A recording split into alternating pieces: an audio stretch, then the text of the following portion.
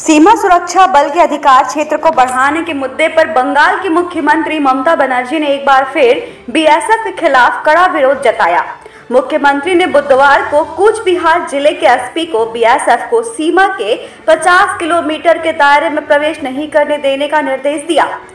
ममता ने निर्देश प्रदेश के सभी जिलों के डीएम और एसपी के साथ वर्चुअल समीक्षा बैठक के दौरान दिया। दूसरी ओर ममता ने बीएसएफ को 50 किलोमीटर में प्रवेश करने की अनुमति नहीं दी। संबंधी बयान को लेकर बीएसएफ पूर्वी कमान के एडीजी वाई बी खुरानिया ने कहा है कि वह आज केंद्र सरकार के निर्देशों का पालन करते रहेंगे। गौरतलब है कि केंद्र ने पिछले साल अक्टूबर में अंतर्राष्ट्रीय सीमा के अंदर पश्चिम बंगाल, पंजाब और असम में बीएसएफ के अधिकार क्षेत्र को 15 किलोमीटर से बढ़ाकर 50 किलोमीटर कर दिया था, जिसका ममता विरोध कर रही हैं। इसके साथ ही ममता ने बीएसएफ पर गंभीर आरोप भी लगाए हैं।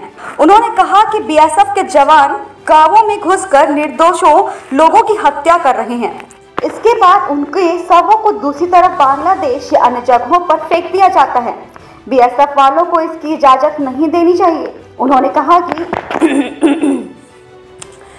उन्होंने कहा कि उन्होंने कहा कि ये लोग पशु तस्करों के नाम पर लोगों को मारकर दूसरे इलाके में फेंक रहे हैं। ममता ने कहा, जब मैं रेल मंत्री थी, मैंने ऐसे कई मामले देखे हैं और यह भी देखा है कि कैसे सबों को गायब किया जाता है।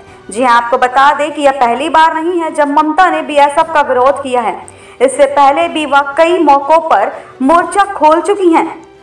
उधर ममता के इस बयान पर कि बीएसएफ को 50 किलोमीटर में प्रवेश नहीं करने दिया जाएगा बीएसएफ की पूर्वी कमान के एडीजी आईपीएसवाई बी खुरानिया ने कहा है कि हमने उनका बयान नहीं सुना। लेकिन इस संबंध भारत सरकार द्वारा पारित आदेश हम पर लागू होता है। और हम उन्हीं निर्देशों का पालन करते हुए काम करना जारी रखेंगे। वहीं बीएसएफ द्वारा गाँवों में घुसकर बेगुनाहों लोगों की हत्या करने के आरोप में उन्होंने कहा कि हमें इस पर कुछ भी नहीं कहना।